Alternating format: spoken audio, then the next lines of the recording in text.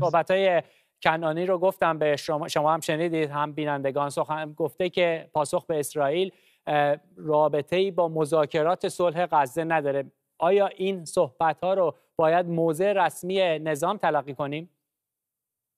بله به نظر مثل موضع جمهور اسلامی هست. هرچند این انکار ایشون خیلی قابل باور به نظر نمی‌رسه چون گزارش های متعددی وجود داشت که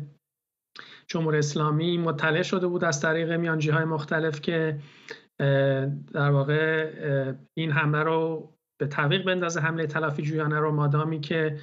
مذاکرات آتش بس در جریان هست در قطر. و اینکه آقای کنانی امروز این اظهارات رو بیان می‌کنن درست کمتر از 24 ساعت بعد از اینکه حماس اعلام کرد که طرح پیشنهادی آمریکا برای نزدیک کردن یا در واقع اتصال مواضع اسرائیل و حماس رو نمیپذیره. اینکه این طرح گویا خواسته های جدیدی از اسرائیل رو در بر گرفته که در اون طرح اولی آقای بایدن که حماس قبول کرده بود نیست. یعنی بلافاصله بعد از این سخنگوی وزارت خارجه ایران این اظهارات رو بیان می‌کنه. ولی خب در این حال ایشون هم مثل بقیه مسئولین جمهوری اسلامی در این مرحله حداقل صرفا از حق مشروع ایران برای تلافی سخن میگن و این حق رو در واقع محفوظ میدارن بدون اینکه اشاره بکنن یا اطلاعاتی بدن در مورد زمان استفاده از این حق. و اگر گزارش های مطبوعات غربی رو ما مبنا قرار بدیم تهدیداتی که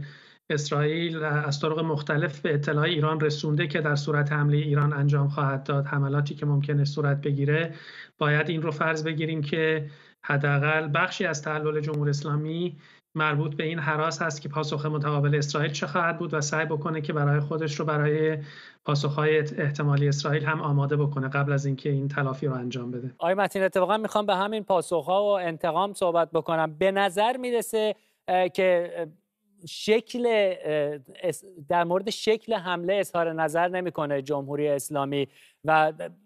حکومت فکر می‌کنم در مورد برنامه پیشین خودش در حمله نظامی اینجور به نظر می‌رسه که منصرف شده شما همینطور تصور می‌کنید؟ بله منصرف که به طور قطعی من فکر نمی کنم منصرف شده باشن ولی اینکه مستقیما از ایران به اسرائیل حمله بکنن این ریسک خیلی بزرگی هست و در کمترین حالت باید این رو تصور کرد که جمهور اسلامی به این فکر می‌کنه که آیا خطراتی که همچین حمله از خاک ایران علیه اسرائیل در این مقطع ممکنه به دنبال داشته باشه آیا چیزی هست که ایران توان پذیرفتنش رو داشته باشه؟ گزارش های تایید نشده ای حتی هست که گویا آمریکا به ایران هشدار داده که اسرائیل حتی ممکنه از سلاح تاکتیکی هسته ای استفاده بکنه چنانچه حمله متقابل ایران منجر به خسارت عمده